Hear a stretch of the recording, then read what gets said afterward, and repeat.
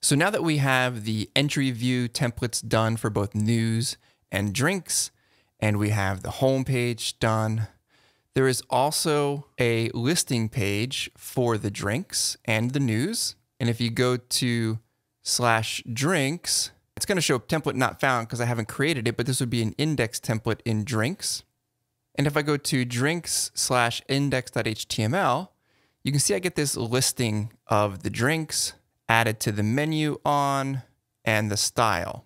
So go ahead and add the listing. You might have to add a new field for added to the menu on, do that.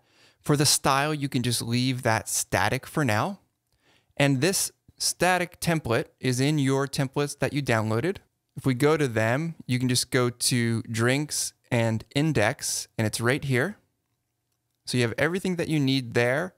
And it's also in news index, same thing. And this is going to be a listing template. So it's going to be similar to what we did on the home page. If you remember on the home page, we just go to the home page template. We use the for loop to get all of the entries in news, limited it to 10 dot all, and then we outputted some information about them. Do the same thing, do a for loop, but instead of looping over this output on the home page, you want to loop over the output for this table.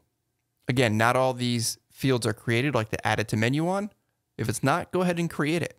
But I want you to get the experience of taking a static template like this and modeling it in Craft and then outputting it with the proper content and structure.